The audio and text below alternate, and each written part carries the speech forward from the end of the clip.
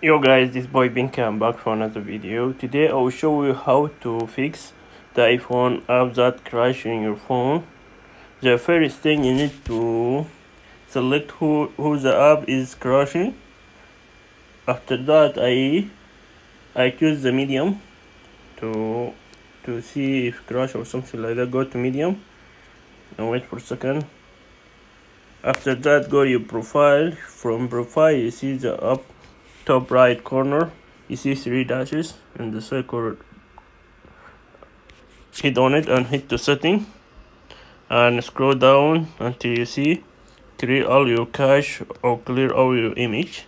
That will fix your problem if you have that depending on on all apps in your phone. You go to setting. From setting you're looking for the app control or clear caches or something like that. Is that not help you to fix your problem go to setting to next solution go to general. For general choose the iphone storage from there wait for a second.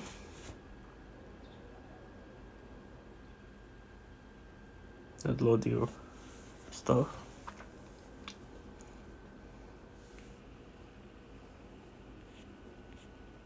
Come on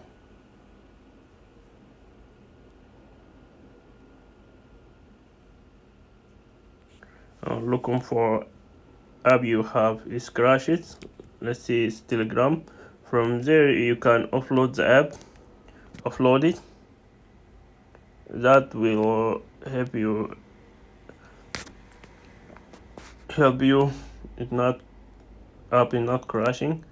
Uh, if not you need to delete the app and download it again from app store that will fix the problem. I hope that helpful for you and don't forget to subscribe to my channel. To you to see new stuff. I'll see you next time guys. Bye bye